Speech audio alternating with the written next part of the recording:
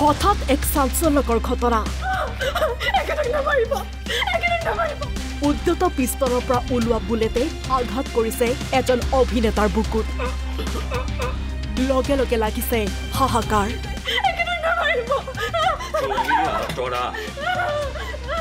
এইদৰে এতিয়া ব্যস্ত জনপ্ৰিয় অভিনেতা ব্ৰজেন বৰা। এই দৃশ্য নতুনকৈ আহিবলগীয়া ছবি ৰণৰ। গুৱাহাটীৰ পাঞ্জাবাৰী আৰু ঢেকীয়াজুলিত চলি আছে ৰণৰ দৃশ্যগ্ৰহণ যে জনপ্ৰিয় অভিনেতা ব্ৰজেন বৰাক কোনো দুৰ্বৃত্তই গুলীচালনা কৰিছে আৰু তেখেত গুৰুতৰভাৱে আঘাতপ্ৰাপ্ত হৈছে। তেখেতৰ বুলু বুকুত গুলী লাগিছে আপোনালোকে দেখিছে। এয়া আচলতে আমাৰ ৰণ নামৰ যিখন অসমীয়া চলচ্চিত্ৰ পঁচিছ নৱেম্বৰ দুহেজাৰ বাইছ তাৰিখে সমগ্ৰ অসমৰ চলচ্চিত্ৰ গৃহত মুক্তি লাভ কৰিব।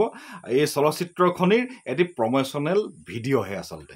এই চলচ্চিত্ৰখনিত চলচ্চিত্ৰখনিত অভিনয় কৰিছে অসমৰ জনপ্ৰিয় অভিনেতা ব্ৰজেন বৰা ৰা গণিতম কৰিশ্মা হাজৰিকা কাকলি প্ৰিয়াকে আদি কৰি বহু ন পুৰণি অভিনেতা অভিনেত্ৰীয়ে। পঁচিছ নৱেম্বৰত সমগ্ৰ অসমৰ চলচ্চিত্ৰ গৃহত সকলোকে আহি এই চলচ্চিত্ৰখন চাবলৈ মই আহ্বান জনাইছোঁ।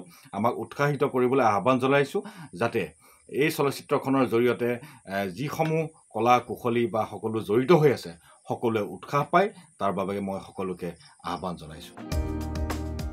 অহা পঁচিছ নৱেম্বৰত মুক্তি লাভ কৰিবলগীয়া ছবিখনত অভিনয় কৰিছে ব্ৰজেন বৰাৰ লগতে কেইবাগৰাকীও জনপ্ৰিয় অভিনেতা অভিনেত্ৰীয়ে। শেহতীয়াভাৱে ছবিগৃহত মুকলি হৈছে কেইবাখনো নতুন বোলছবি ইয়াৰ মাজতে নৱেম্বৰত আহিবলগীয়া ছবি ৰণৰ বাবে দৰ্শকৰ শুভেচ্ছা আৰু আশীৰ্বাদ কামনা কৰিছে ছবিখনৰ পৰিচালক দিগন্ত শৰ্মা আৰু প্ৰযোজক বিমল জ্যোতি নাথে। ঢেকীয়াজুলিৰ পৰা Pankaj মাহাতোৰ report Asom live twenty four